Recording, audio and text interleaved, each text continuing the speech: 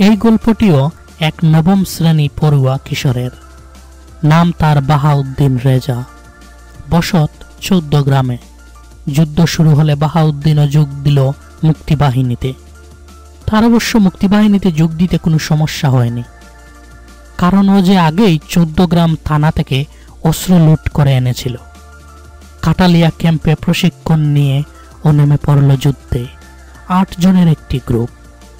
Group commander ও নিজেই ওদের target স্থানীয় কমার্স ব্যাংক স্থানীয় কমার্স ব্যাংকে গেরিলা হামলা চালানো। একটা নৌকায় করে ওরা পার হলো গুমথি নদী। মাঝিও ওদেরই লোক। আট জনের দল বাঘ হয়ে গেল চারটি ছোট দলে।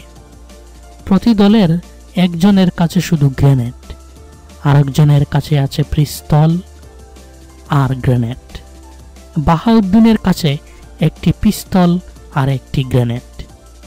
সকাল সাড়ে দশটায় ওরা ঢুকলো কমার্স ব্যাংকে। বাহাউদ্দিন ঢুকেই ছুঁড়ে মারল হাতের গ্রেনেডটি।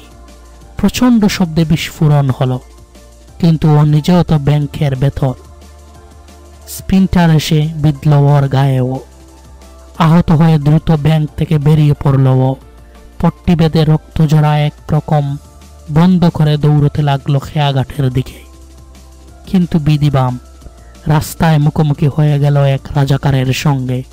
সে খবর পেয়েছে, কমার্স ব্যাংকে বিস্ফোরণ ঘটেছে। আর বাহাউদ্দিনের শরীর থেকে রক্ত ঝরছে দেখে বলল ও নিশ্চয়ই বোমা ফাটিয়েছে। বাহাউদ্দিন কিছুই বলল না। ঠান্ডা মাথায় পাশের দান খেতে নেমে আজলা ভরে পানি দিল মুখে। রাজাকারটার সন্দেহ তাতে আরও বেড়ে গেল। এগিয়ে এসে কলার ধরে বসল। আর যায় কোথায়? এক লাতিতে রাজাকারটিকে দান খেতে ফেলে দিল বাহাউদ্দিন। তারপর পকেট থেকে পিস্তল বের করেই ধুম।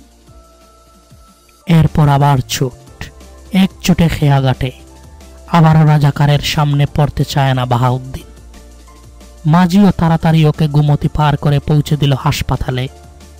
আর সেই হাসপাতালে পরিদর্শনে সেদিন এসেছিলেন আমাদের মুক্তিযুদ্ধের অকৃত্রিম বন্ধু ভারতের সেই সময়ের প্রধানমন্ত্রী ইন্দিরা গান্ধী। সব শুনে তিনি তো যাকে বলে রীতিমতো হতবম্ব হয়ে গেলেন।